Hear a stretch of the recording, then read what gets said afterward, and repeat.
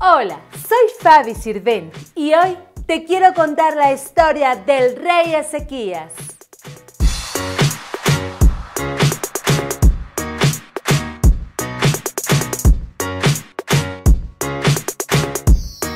Sucedió en el año número 12 del reinado de Acaz, rey de Judá, reino del sur, que comenzó a reinar Oseas, hijo de Ela. Este quedó en el lugar del rey Peca.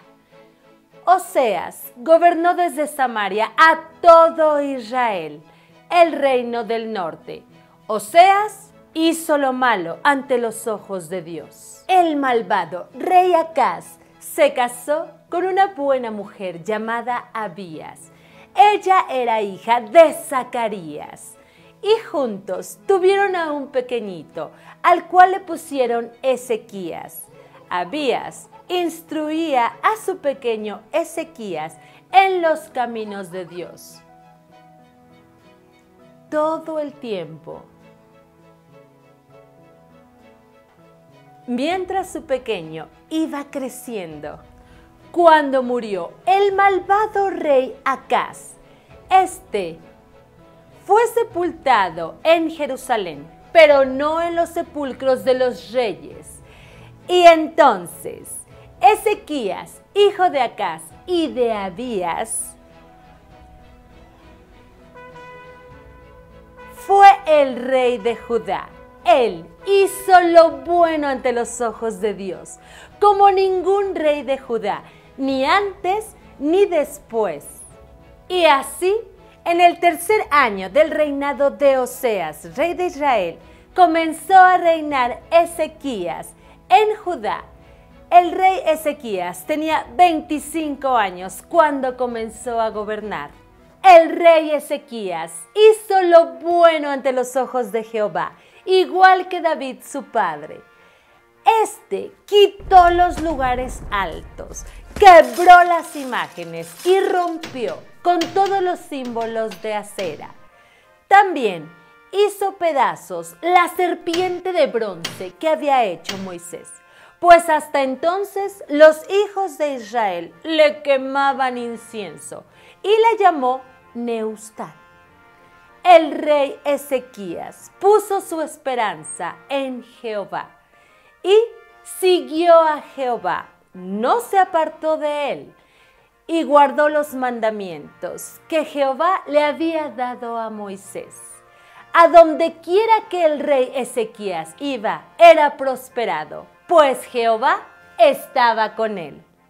En el primer mes del primer año del reinado de Ezequías, reparó y abrió las puertas de la casa de Dios.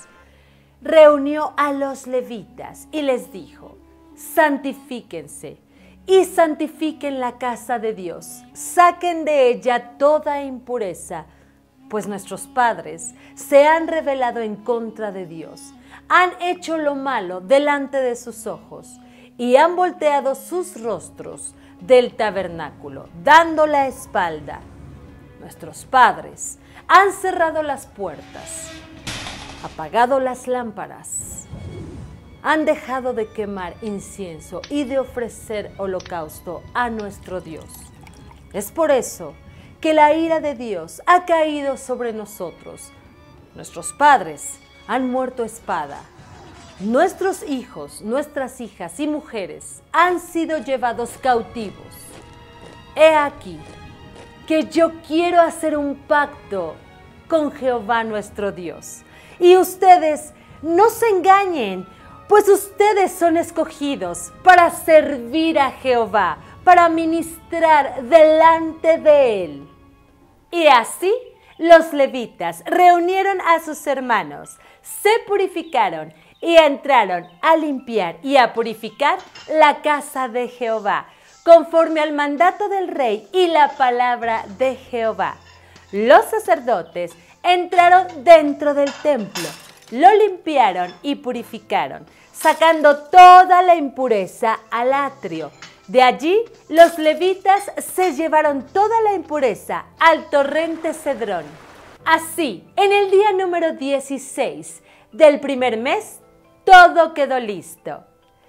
Se presentaron ante el rey Ezequías para darle esta maravillosa noticia, diciéndole, la casa de Jehová está limpia, el altar del holocausto junto con sus utensilios están listos, la mesa de proposición junto con sus instrumentos están limpios también. Todos los utensilios que el malvado rey Acaz desechó mientras reinaba, ahora están limpios y están santificados para su uso en la casa de Jehová. Levantándose por la mañana, el rey Ezequías vino junto con los principales de la ciudad a la casa de Jehová, trayendo siete novillos, siete carneros, siete corderos y siete machos cabríos. Todo esto por la expiación de el reino, de el santuario y de todo Judá. Entonces, el rey Ezequías le dijo a los hijos de Aarón, los sacerdotes, que ofrecieran los holocaustos y los sacrificios. Y así se hizo. Cuando el holocausto se estaba consumiendo, estaban alabando. Los levitas estaban tocando instrumentos, címbalos, salterios y arpas. Y los sacerdotes tocando las trompetas. Cuando el holocausto se consumió, el rey Ezequías junto con los demás, se inclinaron para adorar y agradecer a Jehová. Entonces el rey se dirigió al pueblo diciéndoles, ahora ustedes están consagrados, traigan alabanza y ofrenda a Jehová. Y todos los de buen corazón trajeron holocaustos y alabanzas a Jehová. También trajeron para sacrificio y para ofrenda. Así era eso muchísimo trabajo para los sacerdotes, tanto que sus hermanos los levitas los tuvieron que ayudar. Así, todo el pueblo estaba gozoso, pues todo el servicio del templo de Jehová había sido restablecido y la casa de Jehová había estado lista en muy poco tiempo. Esta es la historia del rey Ezequías nos vemos la próxima y Jesús te ama mucho.